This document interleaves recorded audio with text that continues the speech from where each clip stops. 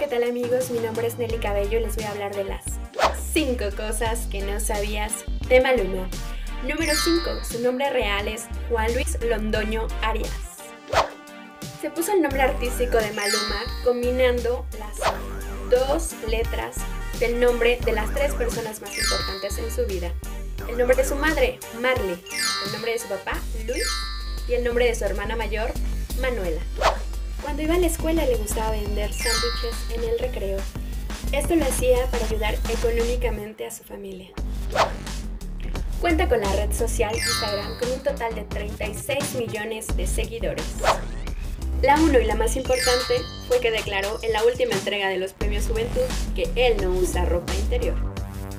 Esto ha sido todo amigos, se despide Nelly Cabello y los invito a que se suscriban a la página Los Chivetes.